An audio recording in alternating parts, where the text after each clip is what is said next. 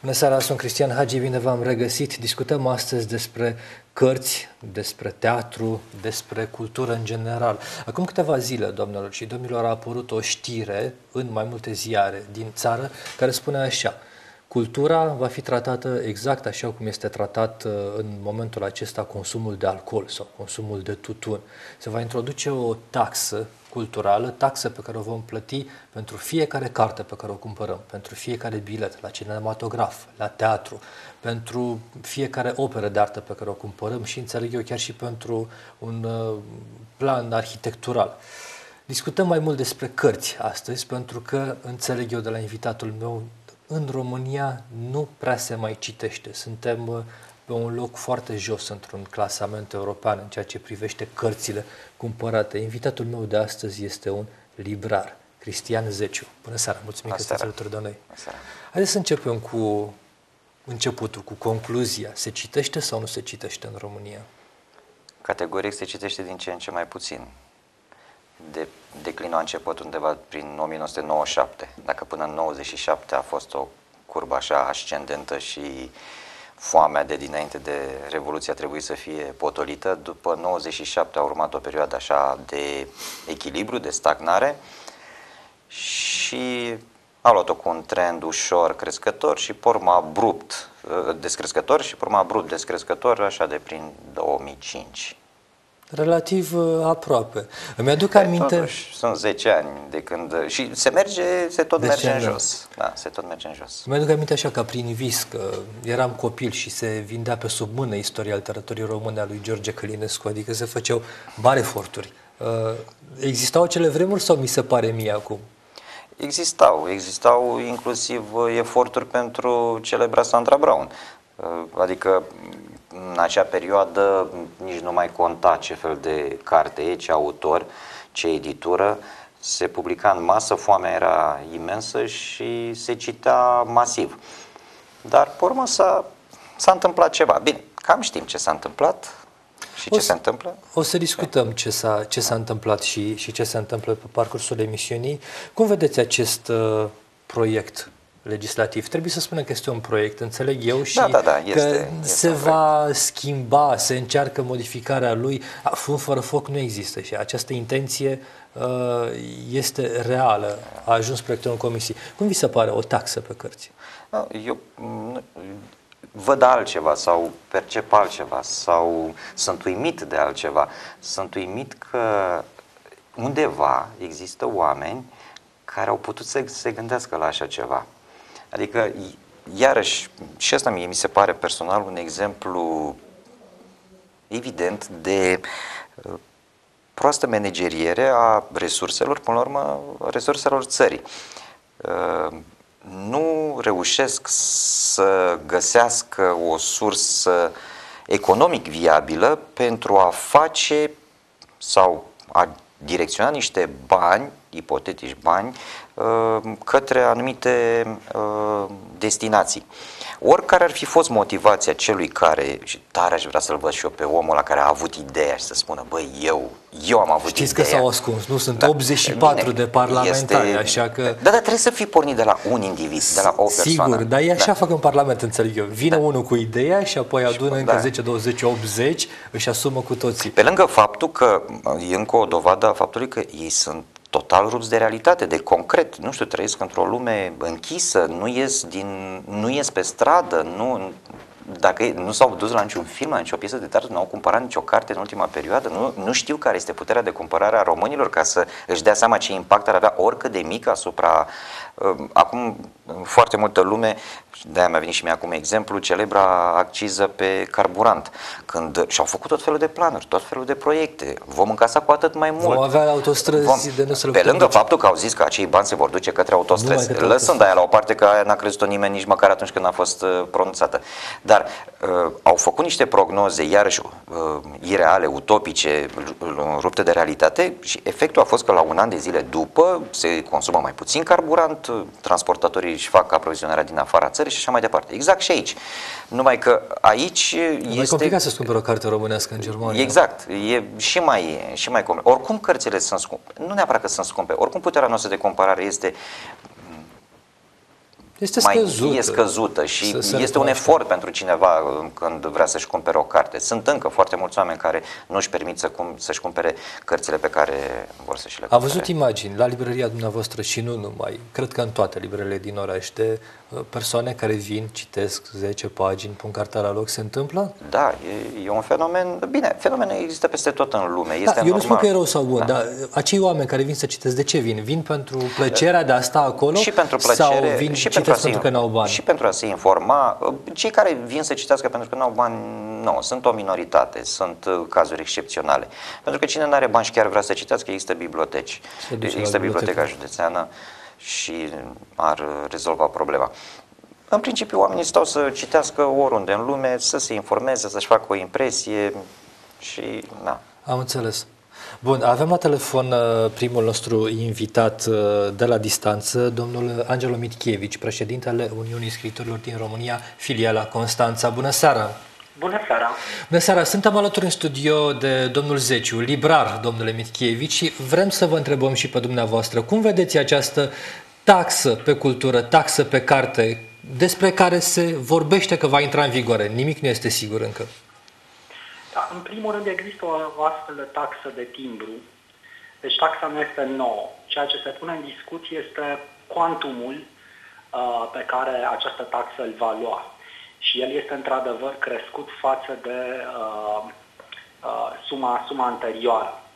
Uh, este și faptul pentru care uh, acest, uh, această lege a stârnit uh, foarte multă nemulțumiri din partea editurilor.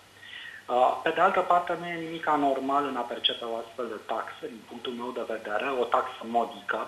Și eu consider că ea este în continuare negociabilă și că ar fi firesc ca reprezentanții editurilor, celor mai importante edituri din țară, să fie uh, prezenți la aceeași masă a discuțiilor împreună cu reprezentanții uh, Uniunilor uh, artistice, pentru că nu este vorba doar de Uniunea Scriitorilor, Corect. este vorba și de Uniunea Artiștilor Plastici, de UCIN, Uniunea, Uniunea Cineaștilor din România și așa mai departe. Bun, încă o întrebare. Banii aceștia ar trebui să ajungă uh, către persoanele care creează, către uniuni, către Uniunea Scriitorilor, de exemplu. La ce, la ce folosiți dumneavoastră banii actuali din taxa de timbru și de ce v-ar trebui mai multe fonduri? Ce veți face cu ele? Spre exemplu, Uniunea Scriitorilor din România întreține existența a 8 sau 9, sper să nu greșesc spunând 9 reviste literare pe tot cuprinsul țării. Este vorba în primul rând de revista pilot, dacă vreți, a Uniunii și anume România Literară, unde și lucrez ca redactor adjunct. Și uh, este bine cunoscut faptul că, propriu zis, nicio revistă literară, dar nicio revistă literară, niciunde, de fapt nicio revistă culturală, ca să fiu mult mai clar, nu se întreține din, uh, din vânzări. Cu alte cuvinte, este un mod de a sprijini într-un mod onest uh, circulația ideilor literare, a literaturii și în cele din urmă este această, vorba de această zestre pe care uh, scriitorii o oferă României. Gândiți-vă fa- la un, la un simplu fapt, când uh, invocăm uh, practic personalitățile cardinale ale culturii române, ne gândim la o serie de simbolici ambasadori. Mircea Eliade, Emil Cioran, Eugen Ionescu. Ne place să ne mândrim cu ei, dar pe de altă parte suntem extrem de rezervați când este vorba de a finanța practic uh, cultura sub aspectul ei general. Am înțeles o ultimă întrebare, domnule Mitchievici. Există, există șanse, uh, vă întreb, să avem și în Constanța, să avem din nou și în Constanța o revistă de cultură, dacă o astfel de lege trece?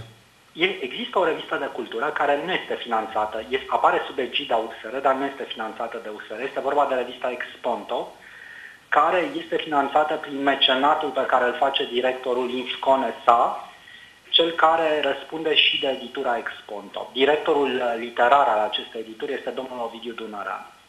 Da, mă gândeam la revista Tomiș, celebră în uh, Revista spațiul Tomiș, acesta. Într-adevăr, e absolut regretabil că s-a decis uh, uh, nefinanțarea, să nu se mai finanțeze această revistă. Această revistă era un reper, practic, uh, nu numai simbolic pentru ceea ce înseamnă mișcarea literară în Constanța, Uh, retragerea finanțărilor, am înțeles și în urma unei gestiuni uh, dificile, dacă nu chiar uh, foarte proaste a acestei reviste, a condus de fapt la dispariția ei completă de pe piață și dispariția unei agore uh, cultural-literare de care probabil că este al doilea oraș mare din câte știu Constanța, avea nevoie de o astfel de revistă. Iată, Exponto, care s-a înființat ulterior, este ultima revistă de anvergură, nu mă refer la reviste foarte mici și uh, volatile, care a rămas în, uh, pe scena literară constanțeană. Vă mulțumim frumos pentru toate informațiile oferite, domnule Michievici. O zi bună vă dorim. Iată că este nevoie. Da, domnul Michievici are dreptate. Există, se numește timbru literar. Uh, dar acest timbru literar se aplică neuniform și încă sunt uh, discuții între edituri și uh, Uniunea ale scriitorilor, pentru că um, nici măcar editurile nu sunt toate într-o singură organizație. Și sunt edituri care aplică timbrul literar, sunt edituri care nu aplică timbrul literar, sunt edituri care uh, uh, aplică la o parte din cărțile lor, uh, Uh, în principiu la autorii români, uh, la cei traduși nu aplică. Deci există o bază, există un fundament. Din punctul meu de vedere, mai bine ar fi reglementat ceva ce deja există. Ar, ar trebui să facă funcțional ceva ce este deja început, să-i stabilească clar niște reguli, pentru că una dintre unul dintre aspectele care am înțeles, nu mă pronunț exact pentru că nu știu foarte bine care este situația, dar din ce am înțeles, aici va fi diferit în sensul că dacă o editură scoate un tiraj de o mie de cărți, să zicem, este obligată să, în acest proiect de lege, să cumpere o mie de timbre pentru cele, acele cărți, să le și plătească, dar acele cărți e posibil să se vândă în 5-6 ani, e posibil ca peste 2-3 ani să se ducă la topit și implicit editora va trebui să-și facă niște calcule uh, să mărească prețul cărții cu ceva mai mult decât uh, valoarea timbrului unitar, să acopere și restul pierderii. Și inevitabil vor apare niște dereglări de prețuri de pe piață, Lucru se va întâmpla se ceva. Într-un preț mai mare. Exact, într-un preț mai mare, în condițiile în care ar putea să, gă- să găsească o soluție cu reglementarea timbrului literar care există acum. Bun, să vă dau o informație de ultimă oră. Dumneavoastră și telespectatorilor de la Mădălin Voicu, Parlamentar de Constanța, vă vine sau nu să credeți, membru în Comisia de Cultură a Camerei Deputaților, nu intră în direct, nu dorește, dar ne spune așa prin SMS. Taxa de timbru cultural nu va mai exista în forma actuală pentru că a fost amânat votul în Comisia de Cultură până la un nou proiect de lege ce urmează a fi promovat. A fi dorit să întrebăm cine a fost cu ideea aceea inițială. Da? Da, da, Până da. întrebăm, facem așa, luăm o scurtă pauză de publicitate cu voi dumneavoastră și revenim în câteva minute. Am revenit în platou. Da, vorbim despre această lege că se pare uh, se întoarce din comisie, se va depune un nou proiect, dar sunt convins că cineva acolo, acolo sus, da, la, la București, vrea să introducă o astfel de taxă. Bun, acum să vă întreb puțin de prețuri. Uh, nu știu cât va fi, 1-2% se va reglementa. Nu pare destul de mult, după părerea mea, dar poate greșesc. La, la o carte care costă 50 de lei, dacă dăm 51 de lei, nu mi se pare o diferență prea mare, greșesc? Nu cred că va fi doar 51 de lei, pentru că, după cum m-am mai zis, dacă editura va fi obligată să cumpere aceste timbre la întreg tirajul, ea va trebui să ia în calcul și pierderile, și retururile, și ce se va topi, și Adică va trebui să ia în calcul foarte multe Totul. aspecte și Deci dacă va fi, va fi un 2%, de fapt nu va fi un 2% așa. În cum real se- nu va fi, nu va fi stă nouă niciodată. Dar niciodată o creștere, că e de combustibil sau de eu știu ce, cu un anumit procent nu a generat uh, o creștere colaterală în același procent. Tot timpul a fost ceva mai mare. E... Da, se pare că aritmetica este ciudată în această privință. Am văzut că a scăzut prețul barilului de petrol cu cât? 50%, da? Da. Prețurile la pompă au rămas Au aproximativ rămas aproximativ. așa. Sau dacă au scăzut, au scăzut oricum mult mai Oricum puțin. e mai, e mai scumpă decât în Germania, revenind așa la ce spuneați dumneavoastră mai devreme, am constatat asta cu surprindere. Oamenii care vin în librăria dumneavoastră, ce cumpără? Ce fel de carte să mai cumpără? Pe ansamblu, ceea ce are constanță și se cumpără să zicem, în volumele cele mai mari, e cartea școlară. Și nu contează că e manual cu legere auxiliar sau bibliografie școlară. Astea, din păcate, au ajuns să, să reprezinte majoritatea. Vă întrerup, da. vă întrerup puțin, domnule Zeciu, pentru că mai avem un telefon. Taxa aceasta uh, pe cultură se aplică nu numai cărților, ci și spectacolelor. La telefon este domnul Lică Gherghilescu, directorul Teatrului pentru uh, Copii și Tineret din Constanța. Bună seara, domnule director! Bună seara! Bun, mulțumesc, mulțumesc că intrați în legătură cu noi, știu că sunteți în repetiții. Spuneți-mi așa, înainte de a vorbi despre taxa aceasta culturală, cum merg lucrurile la teatru pe care îl conduceți? Mm, lucrurile merg ca de obicei foarte bine.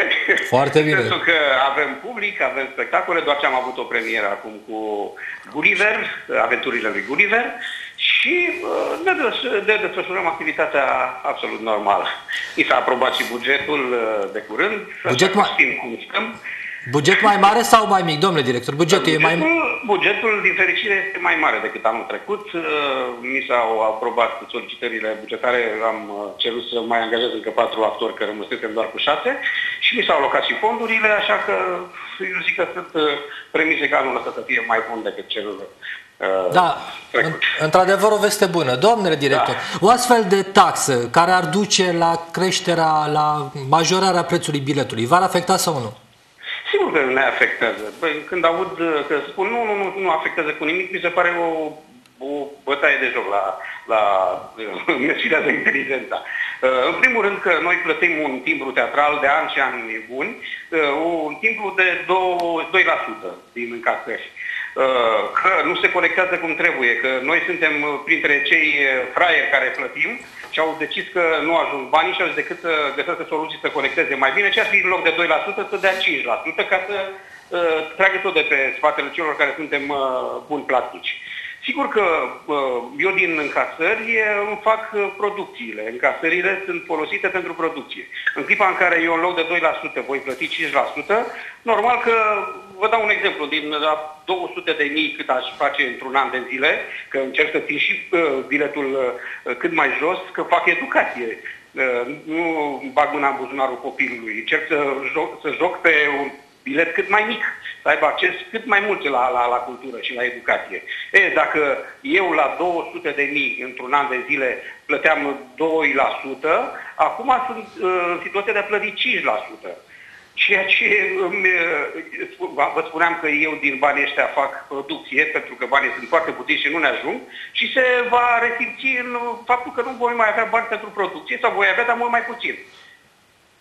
Da, am înțeles. Uh, să sperăm că nu vor rămâne lucrurile așa. Am primit o informație în emisiune că se va întoarce cumva legea în Parlament, se vor modifica aceste cifre. Să vedem cum. Poate fi... Nu știu, să le păstreze cum sunt, uh, dar să le colecteze. Eu știu și dumneavoastră știți și toți știm cu toții de fapt că uh, sunt uh, spectacole și uh, biletele care se vând la foarte multe spectacole nu se plătește nici timbru teatral, noi plătim timbru teatral, Crucea Roșie, timbru uh, pentru patrimoniu, că dau spectacole într-o sală care e uh, monument istoric, și atunci, uh, plus impozitul și UCMR-ul pentru taxa la Uniunea Compozitorilor, deci sunt o grămadă de taxe. Asta mai lipsește acum să în loc de 2% să depună Am înțeles. Ultima întrebare, cât costă un bilet la dumneavoastră? La noi biletul este 10 lei. Încă îl ținem uh, foarte jos. Uh, spre comparație în București, la Sădărică sau la Excelsior, la spectacole tot pentru copii, biletele sunt de 20 de lei, 17 lei, 15 lei, 12 lei 50. Eu am încercat să țin uh, biletul la 10 lei și din ăștia 10 vreau să vă spun că eu suport și transportul, două autobuze cu care aduc copiii la teatru. Le plătesc RATC-ului. În clipa în care mai ia încă 3% în plus, vă dați seama că nu numai că nu ajută, nu ajută să, mm, să mor, să spun așa. Am înțeles. Mulțumesc pentru intervenția telefonică, vă lăsăm să vă întoarceți la repetiții. Mulțumesc, mulțumesc încă o dată, mulțumesc și eu. Bun, ne întoarcem la discuția noastră. Vedeți, probleme sunt nu numai ceea ce privește cartea, ci și spectacolele. Tot ce înseamnă cultură este da, și cinematografe. Ciudat este că se va aplica și la, așa este proiectul, și la uh, planuri arhitecturale. Dacă vreau să-mi fac o casă și cineva mi-o deseneze, trebuie să mi-o deseneze. Nu, voi plăti și acolo un 0,5% din valoare. Haideți să ne întoarcem la discuția noastră despre carte. Ce spuneați că se cumpără cel mai mult? Păi, lăsăm la o parte cartea care are tangență cu școala. Uh, De foarte mulți ani de zile se cumpără ce e la modă, sau mai bine zis ceea ce este promovat. Chiar nici nu contează cine scrie, cine publică, cine traduce, oamenii au și-au stabilit clar niște, uh, mă refer pe ansamblu, nu mă refer individual. Sunt foarte mulți oameni care au capacitatea de a naviga printre informații și a selecta ceea ce au nevoie. Dar, așa, pe ansamblu, dacă undeva este un scandal cu o carte, dacă undeva a stârnit valuri cu o carte, dacă undeva a fost uh, foarte bine detaliat într-o emisiune TV de cele mai multe ori o carte, are, are impact. Și pe urmă mai sunt uh, uh, cărți care au avut succes internațional și um, prin efectul de domino are um, succes și la noi. Uh, Știți ce o să vă cer acum? Câteva exemple de cărți care se, vin bine, care se vând bine în Constanța. Până atunci, să rog pe colegii mai avem câteva declarații pregătite, nu o să le citim noi, dar o să le urmăriți dumneavoastră, ale unor reprezentații a două edituri în ceea ce privește această taxă. Cât vorbim noi, veți putea citi aceste declarații pe ecran. Dați-mi câteva exemple de cărți care se vând bine în Constanța. Nu facem notă discordantă față de restul țării. E, cum zic, ce se citește la noi se citește în toată Cărți care țara. se vând bine în România atunci. Um, depinde foarte mult și de sezon și de moment și de cărțile, nu prea mai sunt cărți care să se vândă bine și să aibă succes perioade lungi de timp lucrurile acum în viața cotidiană se întâmplă cu viteză, așa și în lumea cărții. Apar foarte, foarte, foarte multe cărți, foarte multe titluri, uh, editurile se luptă pe o piață foarte mică, foarte mică. Piața de carte din România este paradoxal foarte înghesuită, așa ca să vă faceți o imagine de ce zic înghesuită, de ce folosesc acest cuvânt. Uh, Ungaria, cu jumătate din populația României, are o piață de carte de 10 ori mai mare. De asta nu vine să cred. Poate ba, da. greșiți da. cifrele, sunteți mm, sigur? Foarte sigur. Nu, nu le greșesc. Deci, Ungaria, de... o populație de două ori mai mică, o piață de 10 ori mai da, mare. de 10 ori mai mare. Uh, Incredibil. Sau un alt exemplu, tot comparativ cu Ungaria. Uh, autori români în uh, piața de carte din România se vând undeva la 5-7%. În Ungaria procente undeva ce știu eu, 35-40. Cum, au, maghiarii cumpără cărți scrise de autori, iar în Polonia și mai mare. Nu mai zic alte țări. Adică da, noi nici interesant. nu ne cumpărăm autorii noștri și nici nu se cumpără carte. Uh, grosomodo, piața de carte din România, când erau și cărțile la ziar, da, editorii încercă să nu le ia în calcul pentru că au fost un accident uh, la nivel european, când am fost noi singuri, ehm, e undeva cam la 80 de milioane de euro. Optimiștii spun 100 de milioane, dar e cam la 80 de milioane Haideți de să facem o comparație cu alte piețe din Europa. Păi Polonia e... Deci noi 80 de milioane, Ungaria 800 de milioane, Polonia un miliard și ceva, spre un miliard jumate. Ehm, pe urmă, când ne ducem către țări gen Germania, Franța, sunt undeva pe la 9 miliarde. 9 miliarde față de 80 uh-huh. de milioane. Da. Și Germania mare... are o populație de 4 ori mai mare decât a României, da, dacă nu mă da. undeva pe la 80 de milioane. Da. Acum, cum se explică diferența aceasta? Păi, da, știu că e o întrebare grea. În, în prima fază, uh, ai fi tentat să zici diferența de putere de cumpărare. Nu, nu, nu cred că Există, dar bineînțeles că nu este numai asta. Principalul, principal principalul motiv e dureros, da? e nivelul de educație. Ne place să credem că, sau ne plăcea să credem, ne place să credem cum fiecare, că în România se citește. Nu Din păcate, citește. cifrele spun că nu se citește. Uh, Concluzia emisiunii, domnule Zece, mai avem 30 de secunde. Credeți că se vor schimba lucrurile într-un viitor apropiat sau nu? Într-un viitor apropiat, sub nicio formă. Într-un viitor îndepărtat? Așa, cu ce mai vorbeam cu editori, cu librării, la cum merg lucrurile cam 20 de ani, 25, dacă suntem optimiști și nu se pun piedici? Da. Da, tristă concluzie. Mulțumesc totuși pentru emisiune. Acestea sunt realitățile Da. din țara noastră. Trăim în realitate. Mulțumesc încă o dată pentru prezență și pentru informațiile pe care ni le-ați adus. Mulțumesc și dumneavoastră că v-ați uitat să aveți o seară excelentă în continuare.